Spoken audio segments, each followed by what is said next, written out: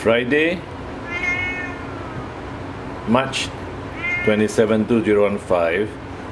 This cat is actually one and a half years old.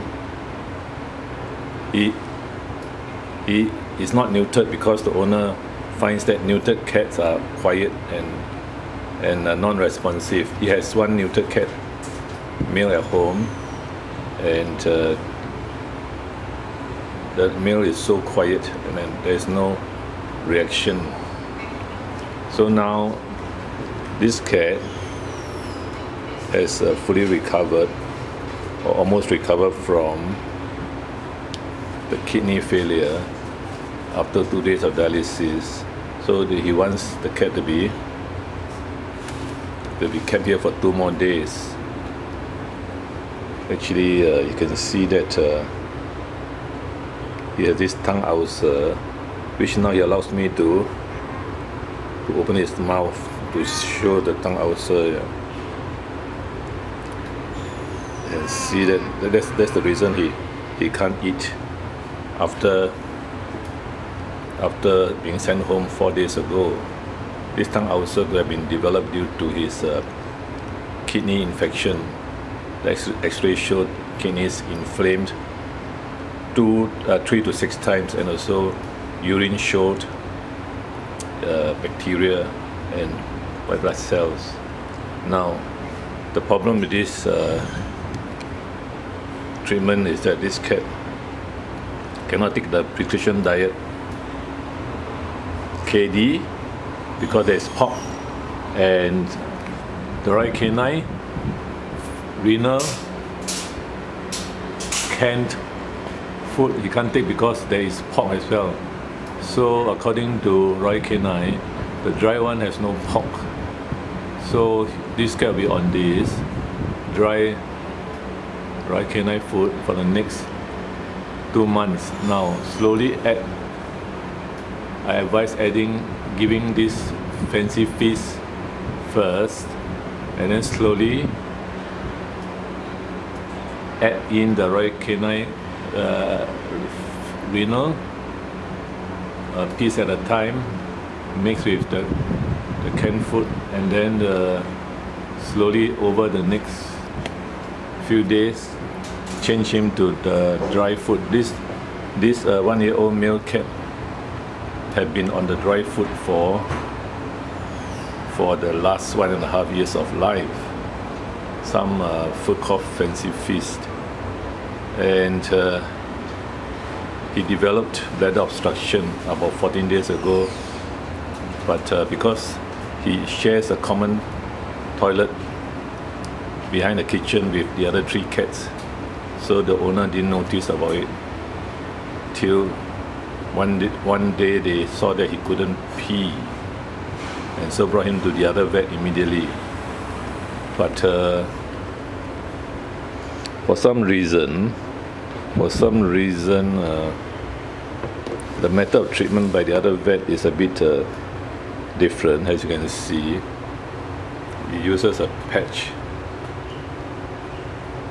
I presume this is a tramadol patch or one patch. While he does the bladder un unblock the bladder. And uh, after four days he or she send the cat back with uh, but the cat still had uh, blood in the urine and was licking the prepuce. As you can see from the x-ray which I took, actually shows the kidney being swollen.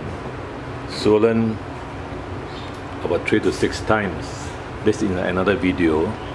And uh, so the the cat was not eating at all.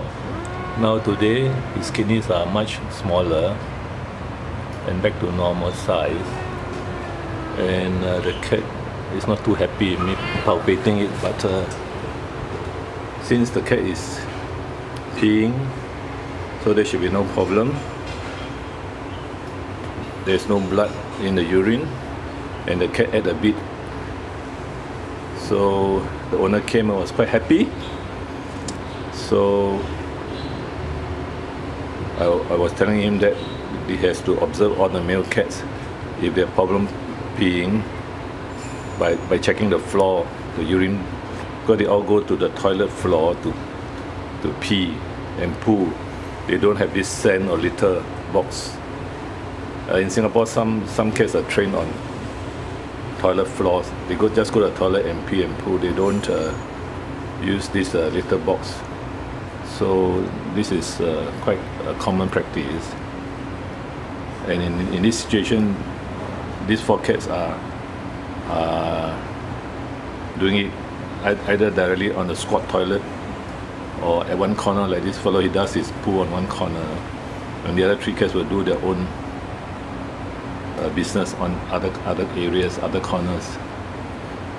So as to why he gets bladder obstruction, it's hard to say. Uh, this this uh, could be a, there could be a delay in detecting this bladder obstruction till the kidneys were damaged and, and infected as evident by the increasing urea and creatinine, as well as in uh, total white cell count and neutrophils at the first vet when they took the blood test. Unfortunately, the the cat was sent home and there was still blood in the urine, and I believe the tongue ulcer to be the cause of the uremic crisis, causing tongue ulcers and uh, gum ulcers. But we normally tend not to do the urine bacteria test, culture and uh, sensitivity test, but in this case, I had it done and uh, it shows that the bacteria was resistant to the Clavulox and that was the reason why the the cat was still peeing blood in the urine after catheterization and treatment as the antibiotics, antibiotics given were not effective. Overall, this cat now of course looks good. Quite a gentle fellow. And uh, he shouldn't be given the old dry food anymore. Toa Payoh Vets, March 27, 2015, 12 noon. FLUTD in this male, not neutered cat, one and a half years old, living in an apartment and being fed dry food for the past one and a half years of his life.